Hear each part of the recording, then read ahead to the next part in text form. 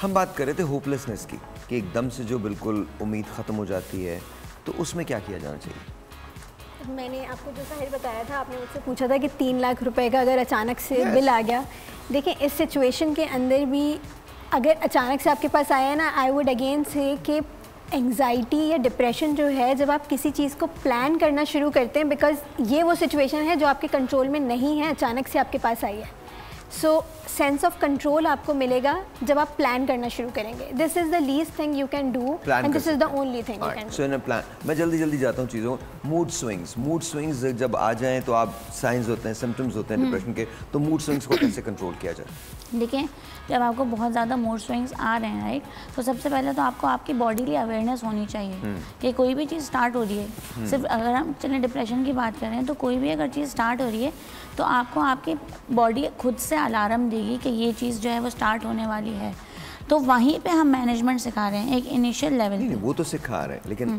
Question हम्म। ये है कि बहुत सारे लोग जो डिप्रेशन में हम्म। होते हैं उन्हें बहुत अरसे तक ये पता ही नहीं चलता आसपास के लोग जो हैं वो आइडेंटिफाई करते हैं कि इनको ये अब डिप्रेशन की तरफ़ जा रहे हैं या जा चुके हैं तो उस वक्त क्या करना चाहिए देखिए जब आपको अंदाज़ा नहीं हो रहा है सारी चीज़ों का और आपके इर्द गिर्द के रहने वालों को अंदाज़ा हो रहा है तो ज़ाहिर सी बात है उस वक्त वो आपको जो है वो एक सपोर्ट सिस्टम प्रोवाइड करेंगे ऑलरेडी right, right.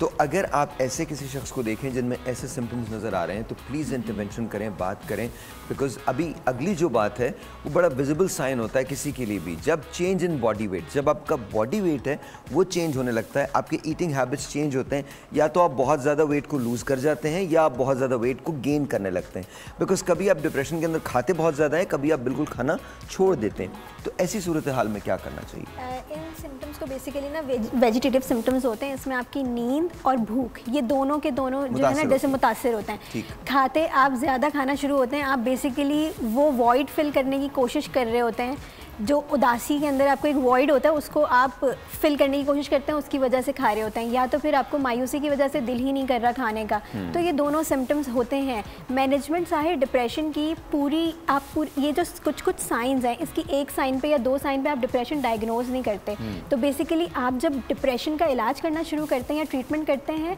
तो आप सारे सिम्टम्स को लेके चलते हैं। तो जो भी बिलीव की वजह से या जिस भी सर्कमस्टांसिस की वजह से आपका जो भी मुतासर हुए हैं डिप्रेशन से आप उनके बिलीफ सिस्टम्स के ऊपर काम करते हैं आप उनके दूसरे सिम्टम्स पे काम करना जब शुरू करते हैं तो इवेंचुअली ये बेहतर होता है। और रूटीन डिप्रेशन के जो भी अलामत जब आना शुरू होती हैं सबसे पहले आप जब रूटीन इस्टेब्लिश करते हैं आपकी रूटीन ही डिस्टर्ब होती है। ज़्यादा खाना कम खाना ज़्यादा सोना कम सोना रूटीन डिस्टर्ब जब होना शुरू होती है वहाँ आप जब रूटीन के ऊपर काम करते हैं। अच्छा जी एक और चीज़ होती है जब आप डिप्रेशन की तरफ़ जा रहे हैं उसमें होते हैं अनकंट्रोलेबल इमोशंस मतलब आप को अपने इमोशंस पे कंट्रोल नहीं होता। उसका रीज़न क्या होता है? उसका रीज़न ये सारी की सारी चीज़ें होती हैं जिसके अंदर एंगजाइटी शामिल होती है जिसके अंदर होपलेसनेस शामिल होती है जिसके अंदर आपके मूड स्विंग्स आ जाते हैं। जब आपका बॉडी वेट चेंज होता है तो आपकी अपीयरेंस चेंज हो जाती है। जब अपीयरेंस चेंज हो जाती है तो फिर आप ये डिसाइड नहीं कर पाते कि आप कौन हैं। आपको ऐसा लगता है जैसे हर चीज़ एक स्टैंड स्टिल हो गई है आके। आपके प्रॉब्लम्स जो हैं वो इनकर वो मतलब आके एक जगह जमा होना शुरू हो जाते हैं। सो so, ऐसी सूरत हाल के अंदर जब अनकंट्रोलेबल इमोशंस हों तो क्या करना चाहिए?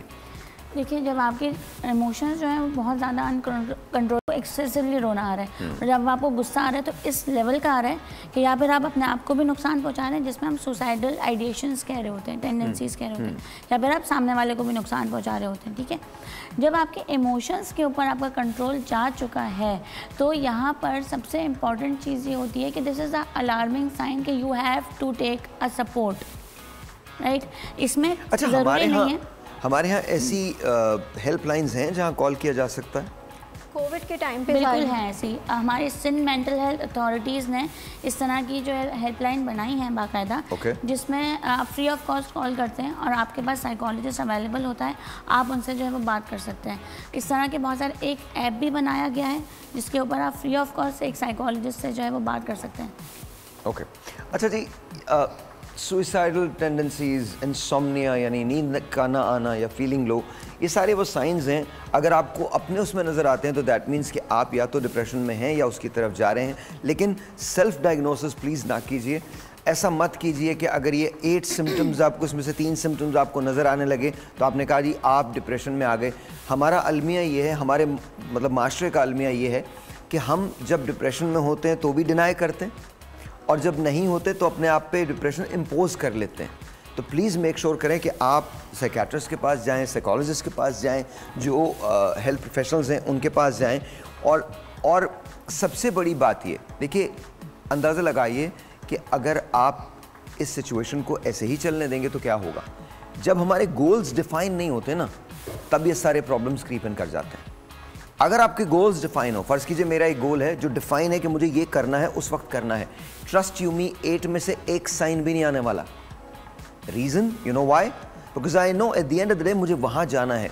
वो फिर मेरे लिए हर्डल्स हो जाते हैं ऑब्स्टिकल्स हो जाते हैं, जिन्हें पार करना मेरा काम होता है। Plan your day plan your life discipline your life आप डिप्रेशन से बहुत दूर रहेंगे। Unless and until you don't plan your life अपनी ज़िंदगी के अंदर जब आप सुबह उठना शुरू कर देते हैं in the morning five o'clock in the morning five thirty in the morning four o'clock in the morning trust me जिस वक्त आप ये चीज़ करेंगे ना, सिर्फ़ एक आदत अपनाइए get up in the morning early in the morning four thirty five o'clock you should be up